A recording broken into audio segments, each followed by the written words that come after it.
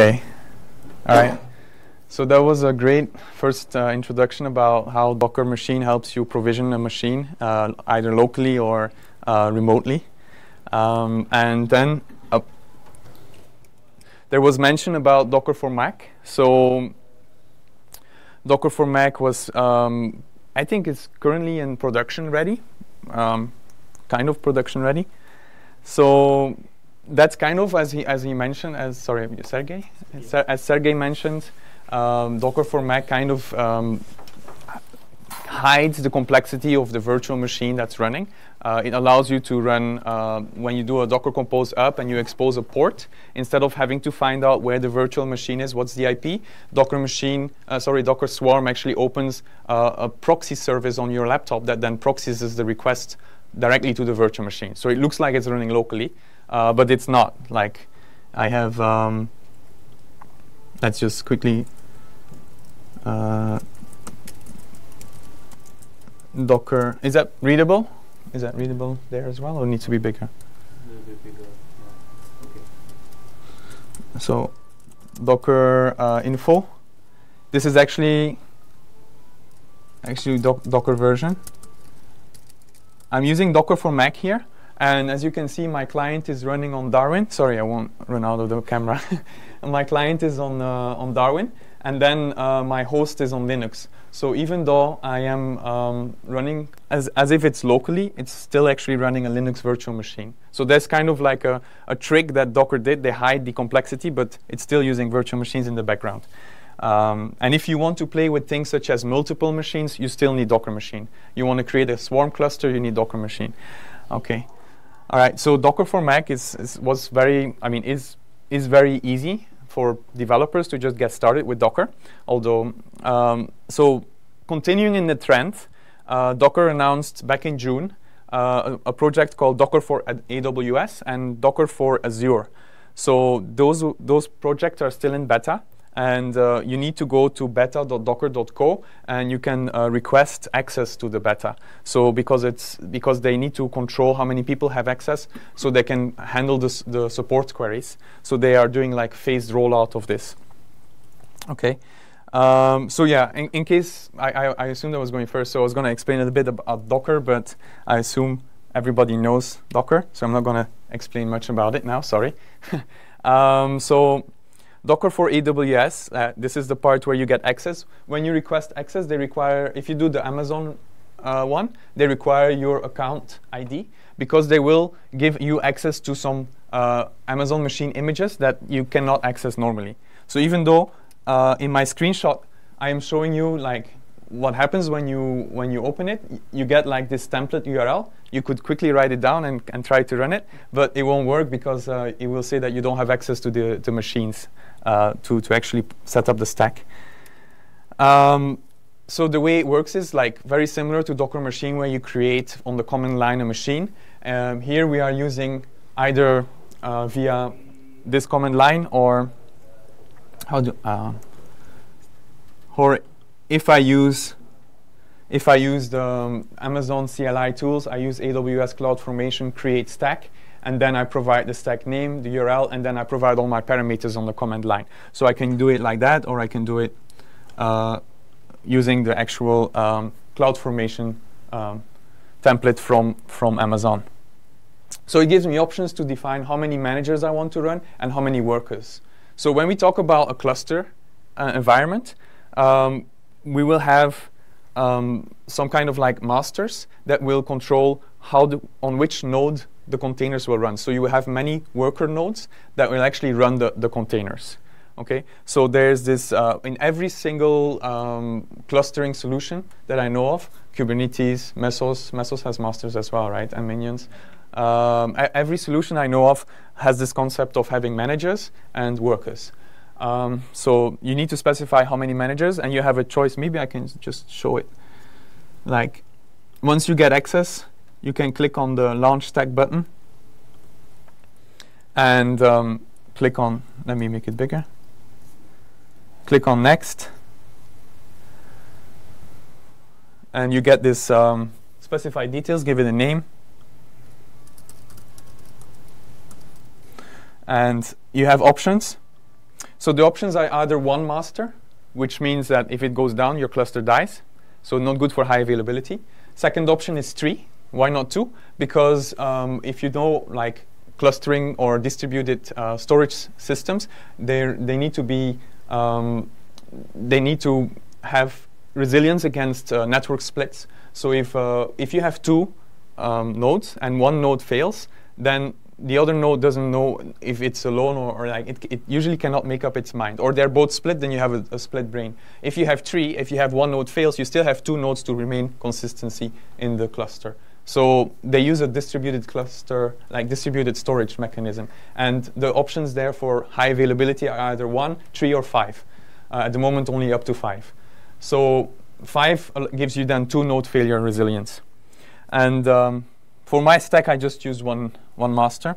And you can actually increase that because in Amazon it's called an uh, auto-scaling group, so you can change the auto-scaling group to, to um, later on have more resilience. And then number of nodes, those are actually the, you can go up to 1,000. It's going to take a while, it's going to cost me money, I'm not going to do that. Uh, um, so I can create many different uh, worker nodes and then they will uh, run the containers. And then I can specify the type of uh, machines that I want to provision for this. Um, and I can specify uh, my SSH key that I want to enable uh, for access. Okay. Um, so it's very like easy. Um, you don't need to worry about how it actually works. Uh, you give you give the permissions. I don't know if I should create the cluster now. um, do I did I did I put that thousand? oh yeah. Thanks. See, that's why uh, I make I make beautiful demos. um, it's my personal account too, so. Um, there is, uh, I have not played with the advanced, advanced options, but um, once you come to the point that you acknowledge that this uh, cluster will create VPCs, subnets, and all of that, uh, and then when I click create, it will create. But uh, let me not click create right now. You know? Let me run it on the on the command line. I have. I will try to. I will post. I will try to push this um, this this markdown file so people can repeat what I did. So in this one, I'm, I'm setting my default profile. I have them preset on my laptop. I'm setting the region, and then I'm doing a create stack. So let me run that one out.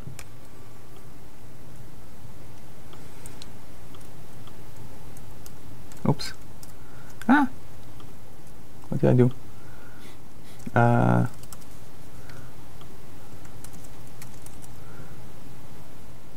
Okay, I need, it's a bit of a mess. Yeah, that's not gonna work. Is it the AWS client? Um, sorry, I'll just paste it here. I just want to change the name. Docker AWS. Ah, yeah, I already changed the name, so I can just execute it normally.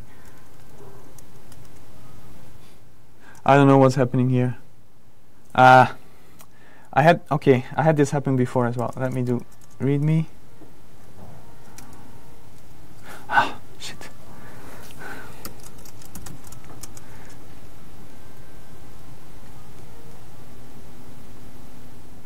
This is not the right menu. Okay, forget about it. I'm gonna click the button. okay, just click the button. Let's keep it simple. All right. Okay, so um, right now it's creating this. So last time when I created it, the it started at around, like I started at 314 and it finished at around um, 324. Like then it was complete. So about 10 minutes uh, to complete this cluster. And I have one master and three. What's happening in the meantime? Okay. So so the first thing it, it does, it creates a, a VPC, a vir virtual private uh, cloud, and create net subnets and security groups within there, all pre-configured. Um, it creates two auto-scaling group, one for the managers, one for the workers, uh, set with the desired capacity that you pre predefined in the template. Uh, then the managers, when they start to come online, they will join and form a quorum using Raft. Raft is a protocol, uh, which is what I mentioned to have distributed uh, storage system. Um, and then after the managers have started, the workers will join the swarm cluster. So if you do this manually, you need to create the EC2 instance, you need to provision Docker on it, you need to, um, once Docker engine is ready, you need to create the, um, you know, swarm mode, enable the swarm mode, create one master, then you get a, a token, either you need to have either token-based or on a, on a different type of, um, you can do it token-based or based on discovery. Um, you have to join the other nodes to the, to the masters, then you have to promote the nodes to masters if you want to have more masters. So that's very manual. And now it's all happening in the background. And by the time I stop talking, it's probably finished. Um, so then after that, whenever it creates two ELBs, one is for SSH access and one is for any services that you create within the cluster. Um, I have not looked exactly like how to, um, like right now the ELB, I actually manually choose the ports to expose. Uh, I'm pretty sure there's a better way to do that, but um, I have not looked into that. And so then it's ready for deployment. Um, so what I wanted to show was, actually I forgot to stop there. If I click on the launch stack button, and I can click here, view edit template in designer. Uh, so this is the, the standard um, CloudFormation editor from Amazon. It's loading. And then it's showing me like an overview of, of what the stack looks like. So there's a whole bunch of systems that it creates. Oops, and I just drag things around, which I didn't want to do. Um, but one of the interesting things I, I think in here is the, the fact that it, and I actually have the screenshot here, so let's just go here. So one of the interesting things that it does is it's create this uh, SQS like a notification or queuing system. So I read online, this is, I mean, I put inside here the link to the information. The purpose of SQS um, is to, whenever there's um, an instance, Amazon is going to terminate an instance, there is a grace period, like there may be a notification. And SQS is actually going to react on that. So the instance can learn about if it's impending doom and then gracefully exit. And we'll see, I hope to show you the actual way of draining if you man manually want to retire an instance, how you drain the containers out of it. But uh, it can also react to uh, notifications from the Amazon cloud to, to do that for you automatically. Um, so there's a little link to the source where I got this from.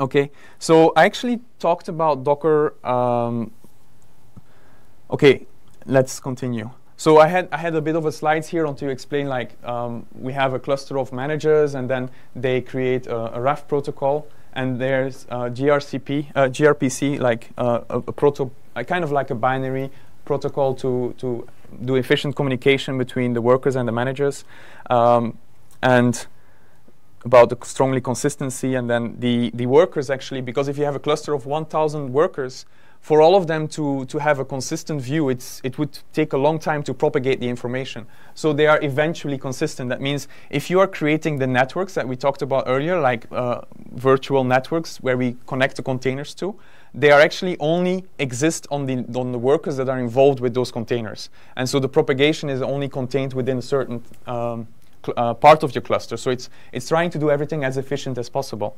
And if you look on the Docker blog, they just posted a lot of videos from, uh, I think, beginning this month, like 8 October, there was a, a, a distributed systems summit in uh, Europe, uh, which was focused on how exactly does this work. And they actually look, they actually explain how they do the heartbeat between the manager and the worker, how they do all of that. It's very interesting, very, very good to, to, to understand. But you don't need to because Docker for AWS does it all for you. Um, Okay, I'm not going to go into too many details. I'm just going to go through the, the actual demo that I have. So part of Docker for AWS is that it's running this new Docker 1.12 engine, which has its own clustering system, basically what, what I just explained. And this was announced back in June. So in June, we had a, a meetup here as well. And I, I, I, demonstrated how Docker 1.12 was doing this. And I'm kind of reusing a little bit of the, the, the same uh, meetup uh, sorry, the same uh, visualizations. I mean, tools. Okay, that's not cool. Did I just break my my demo environment? Probably. Um, let me just kill this here. Ah.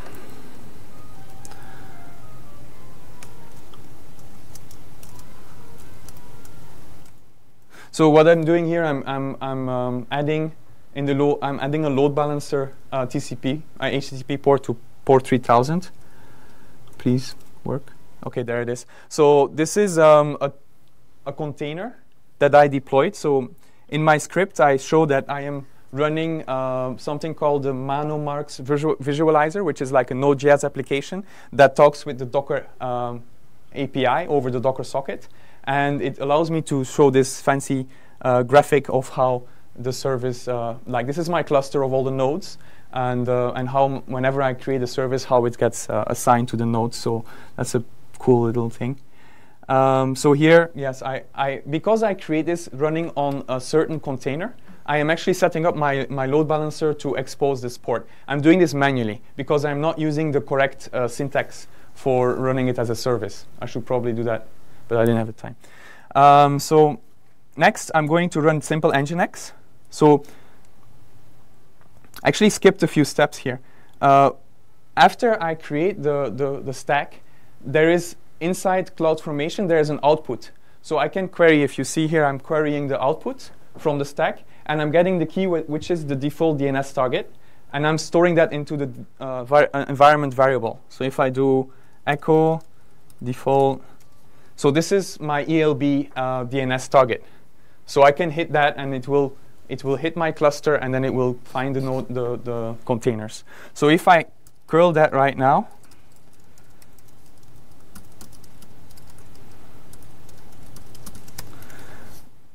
there is nothing there. I mean, I can't hit it. So if I execute this command to create, ah, there's another thing that I did here, which is I'm running uh, an SSH tunnel from my local machine to the, to the default DNS target in the background, and I'm exposing the uh, Docker socket uh, on local port 2374. It's in the guides when you when you run it. So if I look here, I have this job running in the background. That means that I can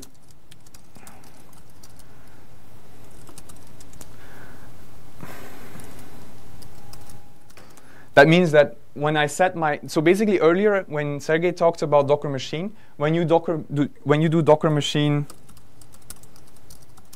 I don't have anything now, but when you do Docker machine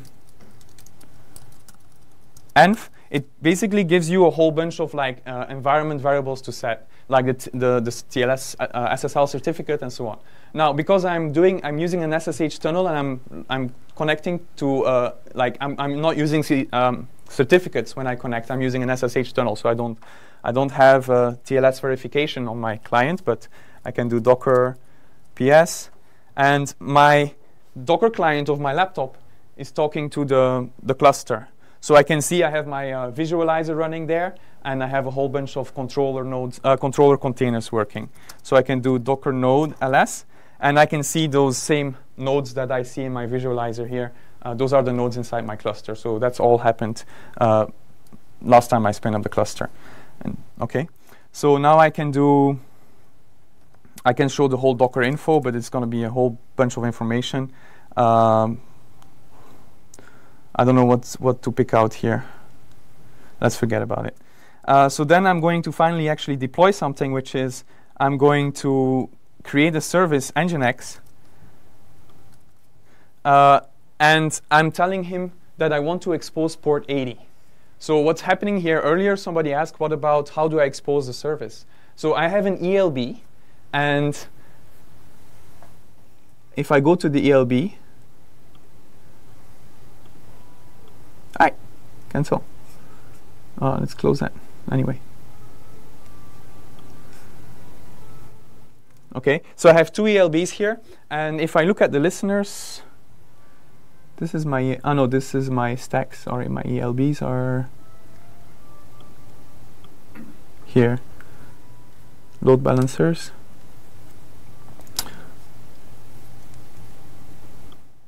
so now I have my original stack that I created uh, at 3 p.m. today, and then the one that I just created now. So I'm looking at this one. If I um, look at the listeners, right now I manually added port 3000, right?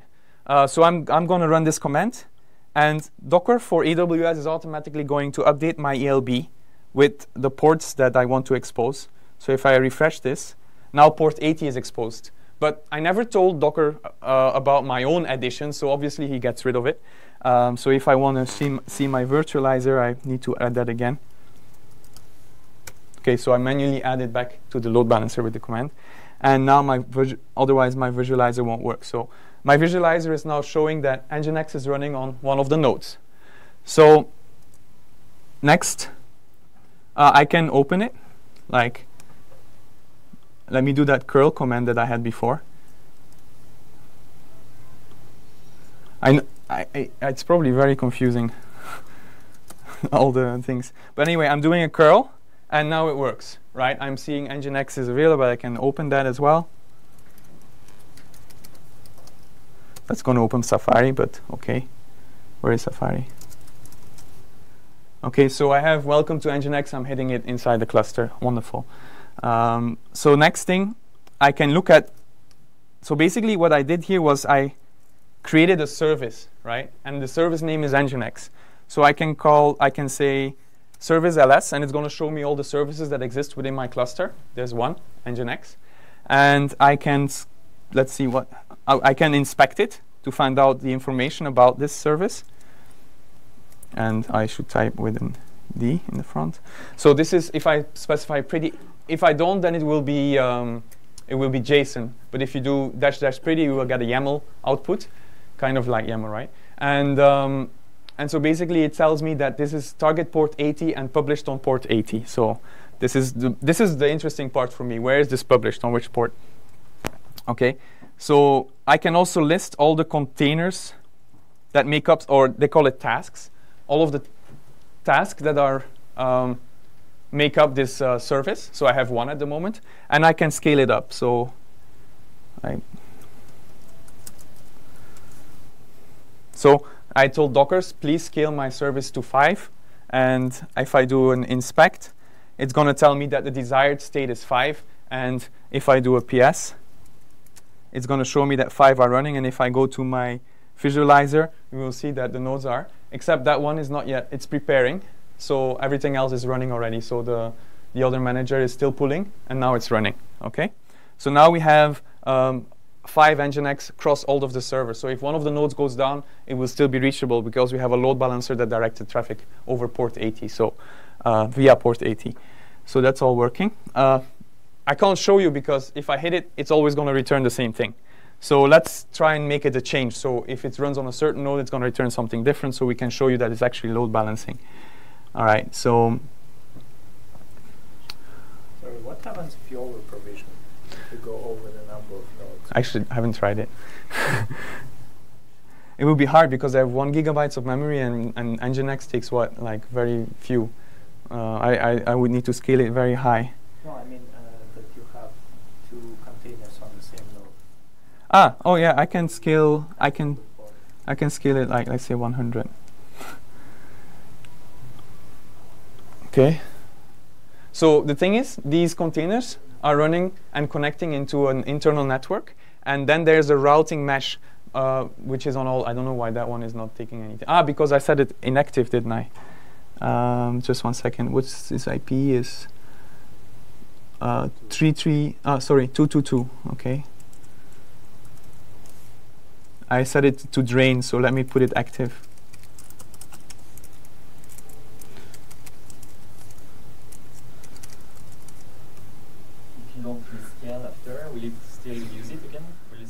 Uh, on the next scaling.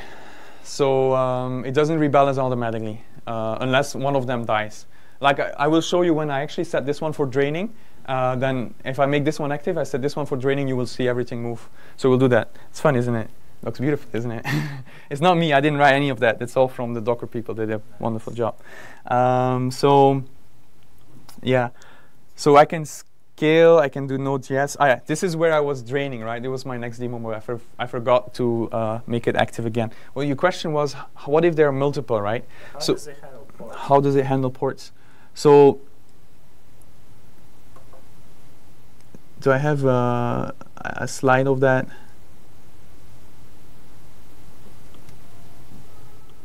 I don't have a slide. So basically, it's a it's it's very similar to how Kubernetes works, and I'm more familiar with Kubernetes. So, uh, so you have when it hits the port, it actually hits uh, the port on the node. It actually redirects the packets to an internal network of all the of all the containers. I was about to say pods. Uh, so all the containers they're running on a, on a, they're isolated, fully isolated from the external network. It's just that there's a proxy service running on every um, on every node that is opening port 80, and I believe this uses IPVS. Uh, like there's a it's a very interesting. So so it's like it's a kernel routing it's a layer four kernel routing uh, mechanism. So it's it's basically do like a, a kind of a broadcasting uh, to find out the nodes. I think we can read more about that. Like. Um,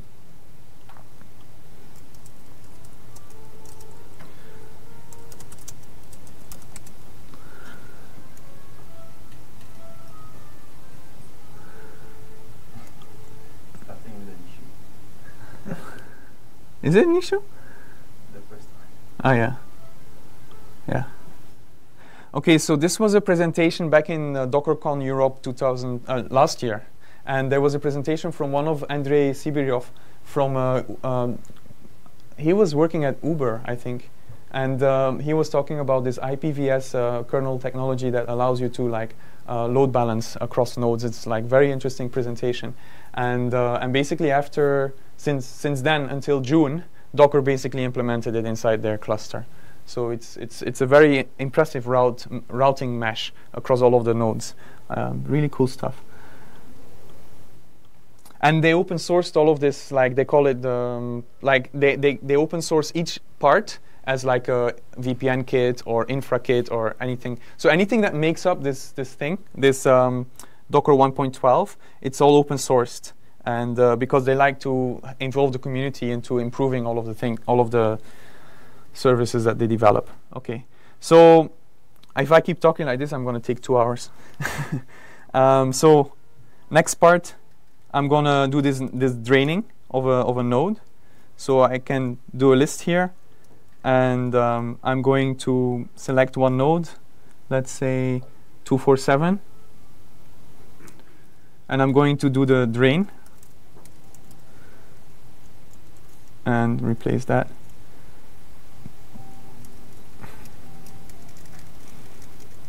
Can you drain with ID? Uh, maybe. I haven't tried. Don't mess up my my demo, man. I'm not gonna try it right now. Oh, let's go to the visualizer. okay, so it's draining that one node that I selected, totally randomly selected, and um, and so now that that node is available for you know, maintenance and I can um, set up another one. I can reactivate it. You can try out the ID draining next. and um, so it doesn't automatically rebalance here, right? But if I drain another node, let's say I pick up 223, so pick up, okay, let me try it. So the Oops, what did I do? Oh no, I just broke my terminal. Oh, that's gonna be a pain. Um,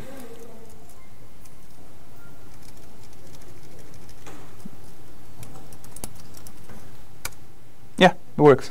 Uh, yeah, so he's draining and he's putting them back on that node. All right, so and it goes quite fast actually. Um, okay, so then the we did the update. Uh, we set it to drain and then back to active. And then the next thing is, what if we want to disable, like we want to replace one of the managers? Then there will be a process of, of uh, if I if I um, if I choose the leader. So if I do uh, Docker node ls. okay, so right now, if I would tell him to drain the leader here, then these other two managers will have to do a leader election. I uh, haven't tested it. I'm not going to demo it. uh, but if you want to try it out, I've put in a link. There's reference. If you, I'm going to push this. I'm going to share it on the meetup group. If you go there, you will see this this draining part that I showed you, and you uh, you will be able to see how to like do leader election and all of that, how that works. Um, so then the next thing I wanted to do was um, to actually show the load balancing. So I'm going to create a service called uh, City. Uh, this is not my example. It's um, I I think I put the reference here as well.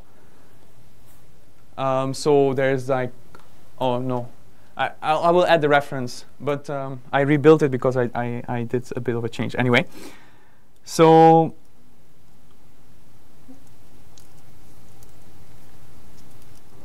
okay, let me do this. Like Docker service create, I'm giving it the name city. I said I want five. Maybe I should uh, remove the Nginx before I do that. Or I will be over over overloading the cluster. Uh, rm nginx, bomb, done. So they're all being deleted. Okay, bye bye. And um, create, oh, I didn't. All right, so in this case, I, I built a, a, a small, I mean, not, I didn't build. I, I cloned this, um, this JSON application, which basically um, this is version 2 where it says really suggests to visit and then a certain city. So it randomly picks a city. It shows the host name and it shows a city that was um, that was chosen. So it kind of shows us which which one of the nodes is uh, which one of the containers is, is serving us. Um,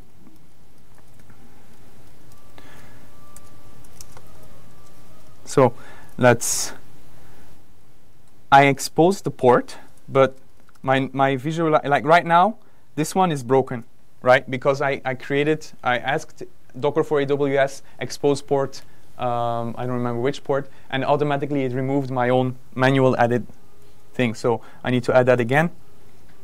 Okay, and it will take a while, but there it is. And the five instances of the random city are running.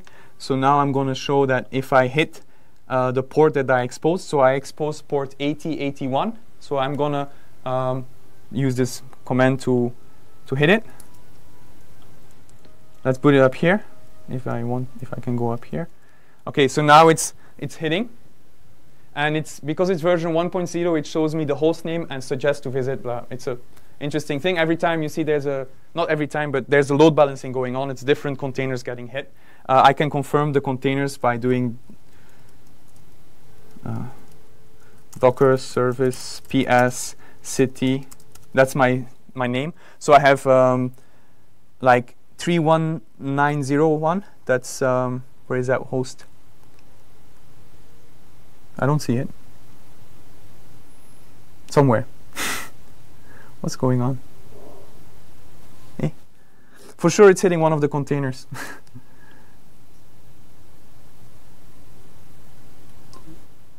this one, the first one here. I don't know if you can read that. Let me try and make it bigger. So the 319, is it readable? That's the one that's that was getting hit, and then the, basically it's the name of the container. So that one should be in there, though. If I do PS, I should see it somewhere. I don't know why I don't see it. Anyway, uh, let's ignore that. and um, so what I'm going to do next is I'm going to do the famous rolling update that every cluster uh, presentation has to do. Uh, so I'm going to tell Docker service to update the image to version 1.1. And as I already uh, indicated, if I if you see that in, in version 1.1 it's uh, improved, it says really suggests it's a little bit more insistent. So if I um, I do update and I put in version 1.1, then you see, um, no, you don't see anything. Visualizer maybe. Containers are being replaced, right? There's a 1.1 running, there's another one being replaced. And as they are being replaced, the load balancer should start hitting the new versions. Actually, Is it a round robin or is this load based kind of? Oh, there we go. yeah, I don't know exactly the, the, ro- the exact load balancing uh, mechanism. But there's a few version 1.0 still, but in the meantime, there's a 1.1 there as well. So rolling update worked. Yeah, cool. And here actually we still have uh, one 1.0 running, and we should see the 1.1 pickup, and 1.1 it's replaced.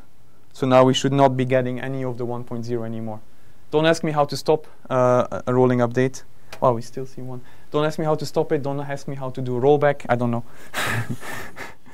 uh, I think if you want to do a rollback, it's very declarative. Oh, something went wrong. I want to go back to 1.0. You just specify image version 1.0, and uh, and obviously it starts rolling. Do another rolling update. Okay, so that's one thing. Um, oh yeah, when I do this, you actually see that there's an update in progress here in the in the message. Uh, I haven't played more with it right now, so that's that's all I have for the demo. I mean, that's a no, that's part two. I have a part three as well, uh, and that's the example voting app. So the app that he just showed sho running on one machine. How can we deploy it on this cluster so it runs across all of the nodes? Um, so I also did the same thing. I cloned it. I can show you um, when it runs locally. So I'm going to Sorry, a lot of things that I should have closed. Okay, here. So if I do docker compose up, so I get the same as a presentation earlier. It's starting all of the containers, showing me the logs. Um, I didn't do the daemonization, so it's or I didn't detach it. But the point is, yes, I can run it locally, and I have the same situation. I I press cats, it updates. I go back, I press dogs, and it updates to dogs. Works. All right, so that's running locally. Wonderful. So let's close it. Yeah, that's not good. Docker compose down. It's going to remove everything. Done. Uh, let's say I'm happy with this. So the next step is I want to deploy. So when it like when you work with uh, with containers, you do you use Dockerfile, you build an image, and then you push the image and, and you deploy it. So uh, with with bundles, you have a compose file, and you need to build something called a distributed application bundle. So to do that, um, okay, I can do a Docker. So the first thing, the the original voting application, I had to make some changes. I um, in the Docker compose, and I had help from. Um, uh, Marcos Nils, one of the Docker captains, another one. And um, so I basically added an image tag. So before the in the original one, it's not. So I added that, but I'll uh, I, I detailed the changes to make it work. It's actually I have to I have to say one thing though. This is still uh, very I, I, it's still experimental. So there's still some things that are not working 100%. So like one of the things I had to do was I had to edit the, the compose file. Then I can do docker compose, build, and because I built it before, it's go very fast because uh, it's using the cache. As you see, everything is using cache, cache, cache. So now if I do docker compose bundle, so that's going to create a bundle file, and I can specify push, and it's going to Okay, so it actually just uh, did a it, it, did a bundle and then it also pushes the images, but because I didn't change anything, he didn't push it again, apparently, isn't it? uh, let me check that. I don't know why he didn't push. Yeah, it is Docker Docker Compose bundle push. So if you do this option, it's going to create a bundle and it's going to push all the images to the registry. So the registry is a is a mechanism to to uh, it's like a centralized repository. So my cluster can pull them from the registry. This is a way to ship the application from localhost via registry to anywhere.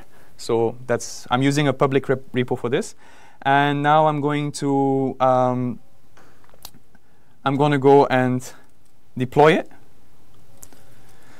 Actually, that doesn't work. no, I, it works, but I have to do another thing. Um, I have there's there's a bug right now in Swarm that if you have two two ports per one service, it's it's freaking out. So I have to remove one port. Uh, there's one service here, this one here, it has two ports. I have to remove it.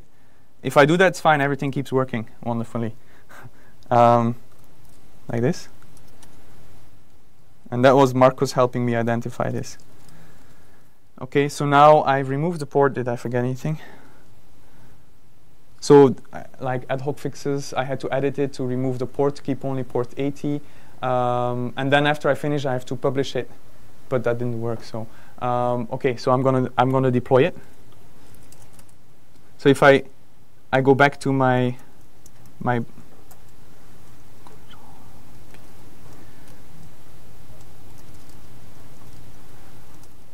Uh, this is my uh, rolling update. Let's stop that uh, here.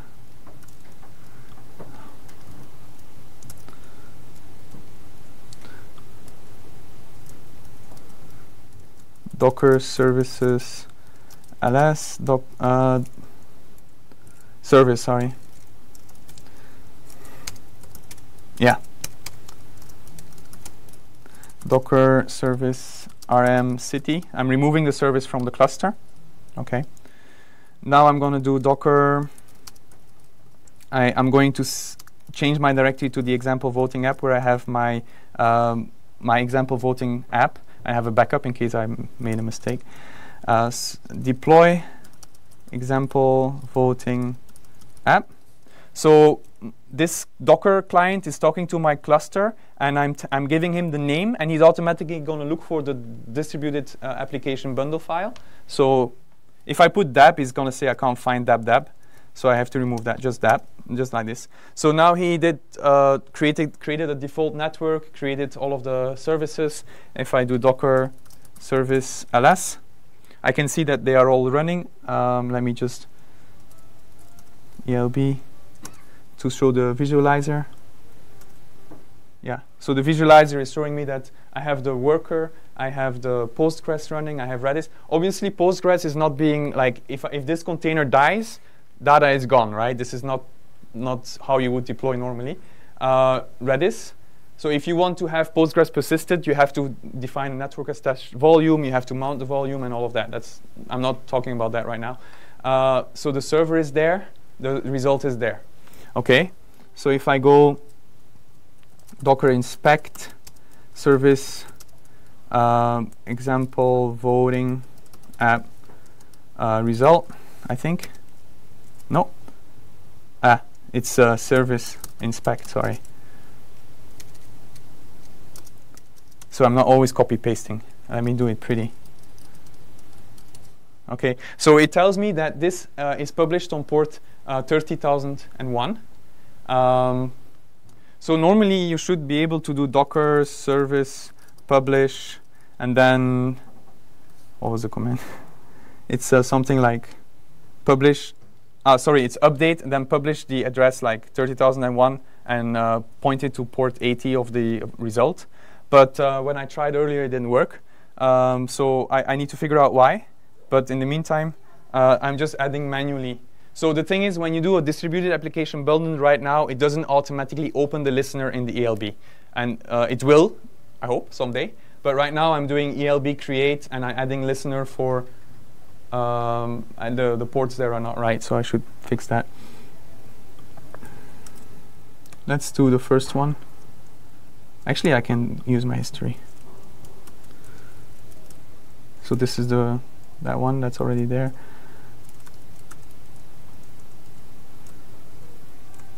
Oops. And okay. So now if I go to if I go to my uh, target DNS port 3001, so there is uh, no votes yet. It's running in the cloud. And if I hit the other one, if I click on cats, and if I go to the result, it's updated. So it worked. Yay!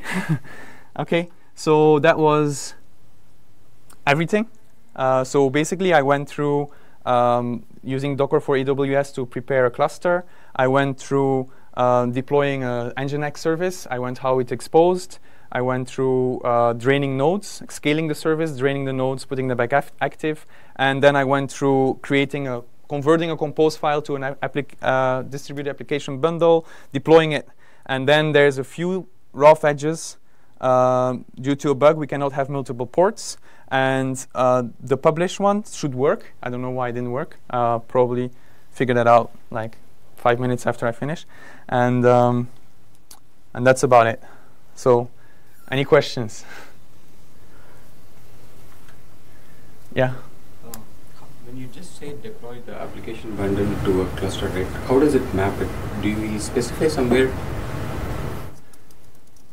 Let me give you the uh, context of the DAB file. So basically, the the appli distributed application bundle. Uh, I do less all it contains is a, is a list of services, and every service has like the image it needs to run, which network it needs to compare, uh, connect to. So, um, so basically, your question is like, how does it map these uh, like to the cluster or? The reason being is like there could be multiple clusters running on the same use, like Multiple clusters. yeah. Yeah. So So the way that works is I have um, I have my Docker host set and I have uh, I have a tunnel running from my local laptop to this particular uh, Docker for AWS ELB SSH. So this is the SSH port. So I'm I'm I'm I'm connecting to this master and I am uh, forwarding the Docker engine control point to my local laptop. So I am actually telling my laptop to talk to this particular cluster, right? Uh, if you're familiar with Kubernetes, uh, in Kubernetes you have something called a Kubernetes control uh, configuration, and you can set the co- context. So you would set the context to one cluster or to another cluster. Uh, that's you can do with Kubernetes uh, that way. Actually, Kubernetes also has the concept of uh, uh, cluster federation. So they run another layer across all clusters, and then you are able to um, you know schedule services across multiple clouds and things like that. But um, I don't think that's there yet with Docker 1.12. Uh, I think 1.12 is quite exciting. Um, the way, like, if you if you look at, oh, there's one more thing maybe I wanted to say. Sorry. um, so Docker for, for AWS is having this very complicated where you have like AWS specific uh, VPC, EC2, I, um, identity ma- management, EBS, ELB. It's very specific. Uh, and then inside the Docker side of things, we have the uh, user application, uh, the storage plugin, and infrastructure management. So um, Docker announced back like in October 4 or something, they announced something called InfraKit, which is um, a way that they want to abstract the infrastructure. So the, why I talk about this because it's it's kind of it's the start of this infrastructure management tool, but it's not there right right now. Docker for AWS, I do it's it's running the orchestration within the cluster. Uh, it's I don't think it's using InfraKit right now because InfraKit is very very much at the beginning stage. So uh, I just wanted to mention that because I don't know why I wanted to mention that. uh, but yeah, you were asking about clusters, and I thought ah no because I found it very exciting because the way that um, they actually like built it's built on top of a lot of uh, experience, like, Kubi- like Google designed Kubernetes. They made it open source, uh, and then Docker uh, had their own Swarm solution, uh, which was running uh, in a very different way. And uh, they basically took a lot of the um, lessons learned from the first version of Swarm that they had, and then they took a lot of the good aspects of Kubernetes, and they combined it and, in such a way that I think um, it's very promising. Uh, to be honest, Kubernetes right now it's being used in production by a big by, by, a lot of companies. Uh, so Kub- Kubernetes is really mature. Uh, Docker uh, for AWS it's still in private beta, and Docker 1.12 is um, it's stable, it's stable, uh, but um, it's not as advanced as Kubernetes. I, I, must say honestly, but it's definitely going in, in a very interesting direction, right? So that was a part of your question. Uh, anybody else? And now everybody's afraid, like, oh my god, he's going to take so long to explain again. um, volumes? Is that working like? I have not played with the volumes, and you reminded me because we talked about logging, right? How do we get the application logs? So, one very exciting thing uh, with the latest release of this beta is um, they added container logs are automatically sent to CloudWatch. So what happens is um, when you run Docker for AWS, it actually runs a volume dri uh, logging driver in the background, and everything is automatically accessible on CloudWatch. Uh, if I find it here. So if I go into my CloudWatch log groups, I can see my Docker for AWS. I think there should be two now. Yes, because I have the second cluster. So if I click this one, I can see all my, it's a bit difficult to know which container it is. Uh, but um, last time I was having an error with uh, my, like, I was having an error with my, uh, for example, this this container, which is the vote server. So EAD, something like that. So if I take that, oh, my my my uh, terminal broke. I did something. Um, okay, so if I put that here, yeah, there it is. So I can see all the logs of that container uh, directly in in in, the, in this uh, CloudWatch. So it's very very integrated. So I don't think ECS even has that like ability. I'm not sure. I don't I don't know how the log shipping in ECS works from Amazon, but um, I find this very interesting. Ah, okay. Um, why did I talk about? Ah, you you asked me about volumes. Yeah. But then I remember that I forgot to show about the logs, because the volumes, I I'm not sure how to handle the volumes yet. Is it supposed to be handled dynamically? Is it supposed to be? I don't know.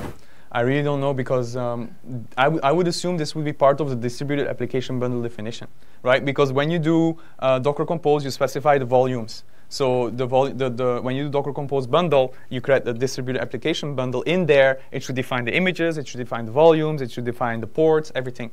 So I think when we when I, I ran the command, Yeah, that. Uh, yeah, not supported, right? So as I said, it's experimental. Uh, where is it? I was there. Okay. Oh. Ah, yeah. My my terminal is broken. Sorry.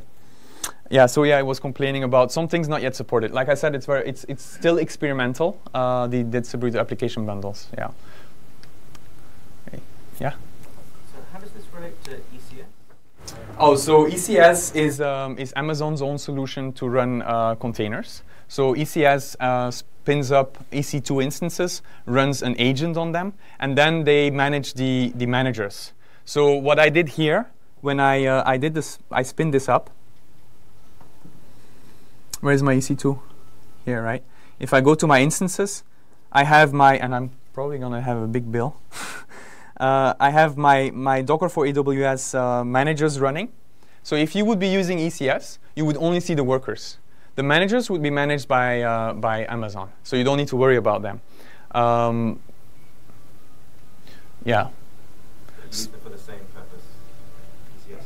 yeah. And, and so the difference is, ECS, you, you don't have to pay even, you only pay for the EC2 instances, like the workers, right? For ECS, you don't pay for the, so ECS may be cheaper, but it doesn't have like um, the same functionality, like, uh, I, I, yeah.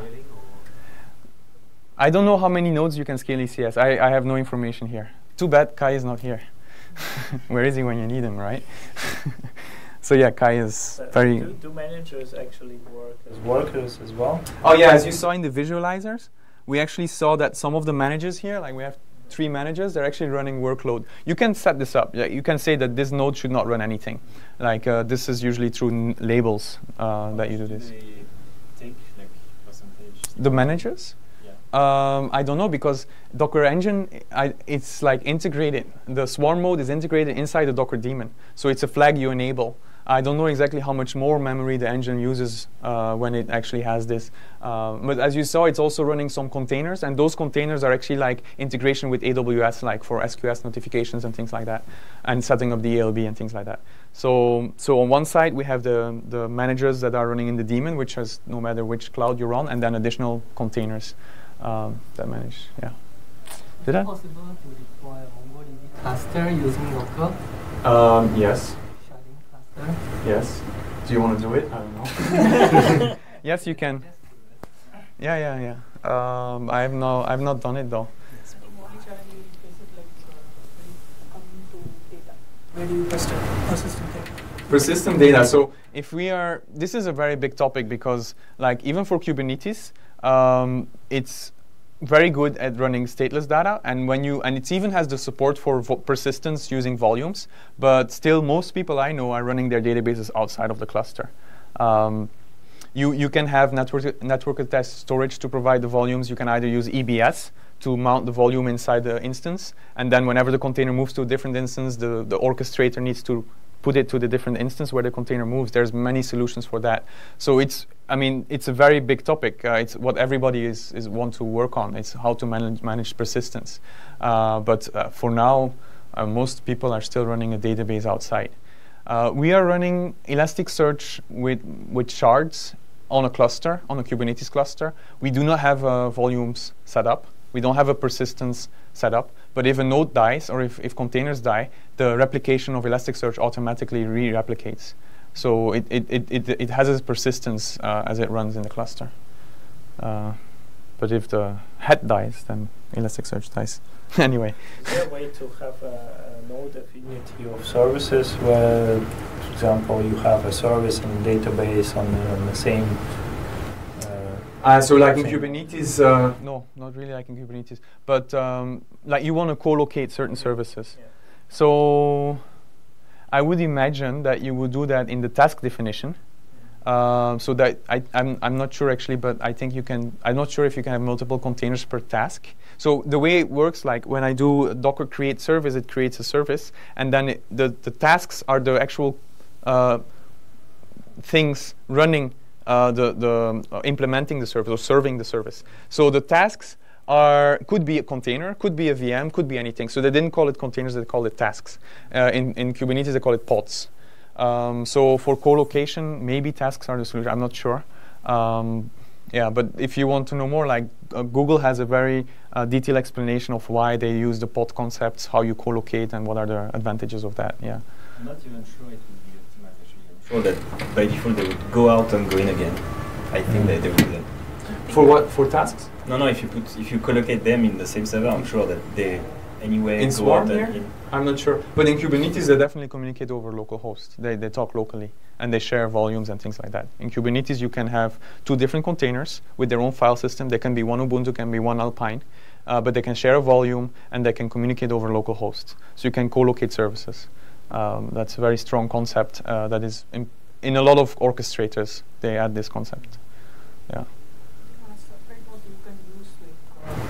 Red Hat solution OpenShift. So OpenOrigin is there. So Yeah. It's a, it's a commercially built product on top of Kube- So So you can try it out.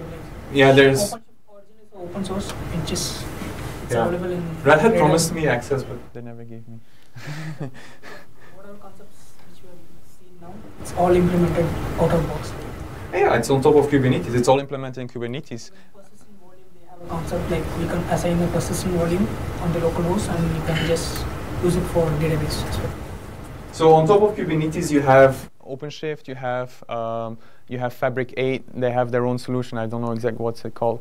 Um, then they have uh, Tectonic, a lot of hosted solutions. Uh, even DigitalOcean is like implementing Kubernetes in their cluster, in their uh, as a service, um, like on, top of DigitalOcean. So Kubernetes, uh, like I said, is used in production, and a lot of companies like Red Hat they they build on top of it. And Red Hat also contributed a lot to the actual Kubernetes source code.